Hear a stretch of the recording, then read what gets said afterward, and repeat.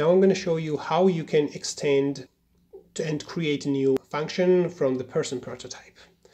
Let's clean up this or just uh, comment them.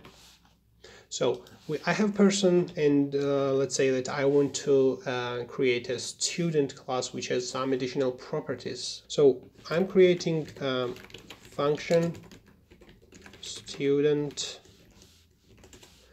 which has let's say student number just student no and this student no is my student no.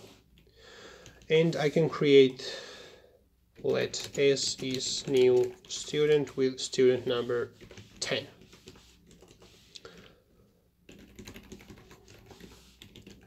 s so uh, person is absolutely independent class from student and um, I don't need it right now. So I'm just creating a student class and it has um, only student number, nothing else. And the prototype goes to the student object, which has constructor the student function, and its prototype goes to the object. I want my student has this say hello uh, method, uh, which person has. So um, there are two ways um, to a, a, say hello method to person, uh, right in the constructor like this or in the prototype. So uh, when it comes to the extending um, and creating new um, class from the person, we need to have this in the prototype because we are going to extend the person's prototype. So uh, let me delete this and write like this. So now I have my person name and say hello and I want my student to um, has the name property which person has. And uh, let's take this name in the constructor. Okay my student uh, I want my student to has this name property and say hello. I'm going to um, extend a person prototype using object create student prototype equals object create person prototype. What this does, if you don't remember, is that it creates a new object, absolutely fresh new object, which has reference in the underscore underscore proto to the person prototype. On this example, my student has this constructor which goes to the student. And this constructor property um, is added by the engine itself. But now I'm extending student prototype from the person prototype. So if I look my student I can see that inside proto it actually has person and person doesn't have constructor anymore. That's because this is not fully 100% right way of doing this. We lost our constructor. So, and if we write student constructor, it founds out to be a person, but actually it's a student. We lost our constructor. We need to recover our constructor.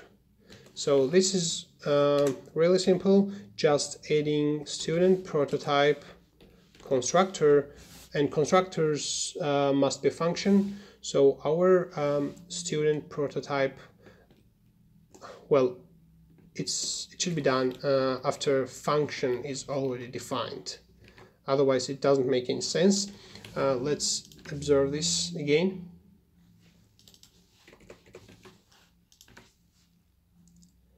Yes, student, person, and in the same uh, similar situation.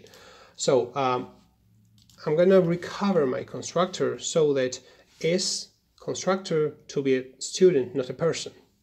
So student prototype constructor is just student function, and that, reco that recovers uh, constructor. Constructor. So it's now student, and that's absolutely correct. Okay, now I want my student to has name property because uh, I extended it from person and person has this name property. So it's obvious that we need to pass this name property to the student because we're gonna um, we want to have it. So in this case, what I'm gonna do, I'm gonna call person on this object passing name property.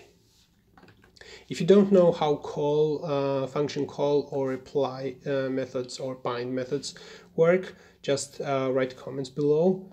Um, but uh, just in, in two words, a person function will be called and this uh, is a passed as this binding. So uh, this used inside person is actually this, which is student.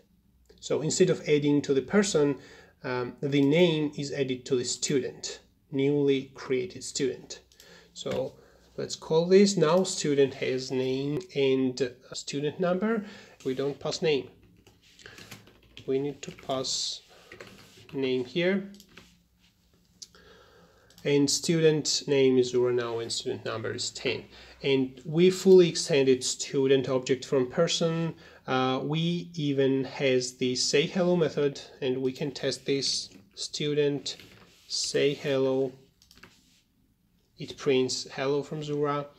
That's it. Um, I hope uh, you understand now how uh, you can extend from object into another. Don't lose constructor property uh, which is important in some cases.